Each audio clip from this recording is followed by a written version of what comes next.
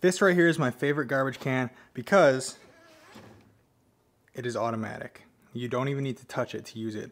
But I'm gonna show you guys how easy it is to change a garbage bag out of this and just how much garbage you can fit in this massive garbage can.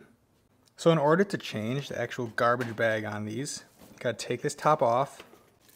You need to take this part off right here that goes around. Take your old bag out. Then you just need your new one.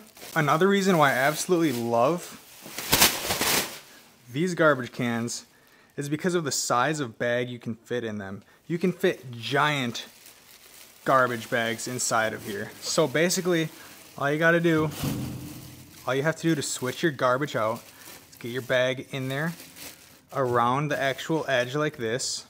Next, you need this piece here. You're gonna put this on here, lift this part up right here, then you're just gonna fold it down and inside of itself just like that. Push it down. Do the same with the other side.